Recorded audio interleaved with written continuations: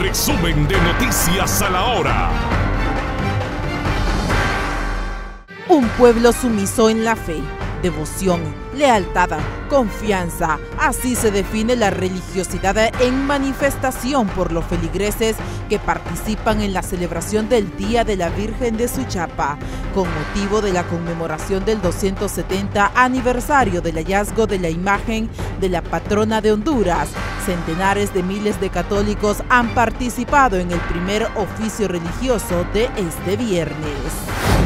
Se puso color de hormiga la cosa. El ministro de la Secretaría de Recursos Naturales y Ambiente, José Galdames, pidió la detención del representante de la organización internacional Global Witness, Bill Kane, por desacreditar al país con un informe presentado durante esta semana.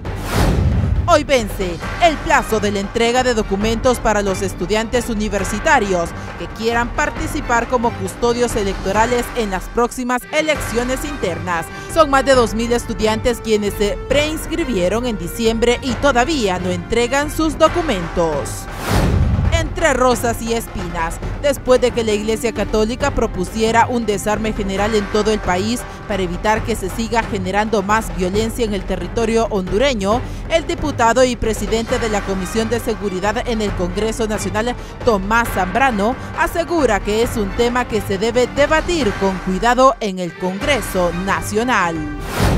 Unos 400 millones de lempiras costó la construcción del edificio de la salud de la Universidad Nacional Autónoma de Honduras del Valle de Sula, donde vándalos, supuestos estudiantes, inician a manchar ya la estructura física.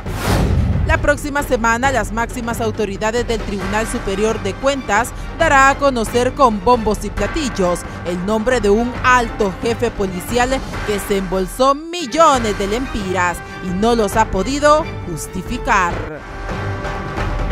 El debate da inicio en HCH Vespertino.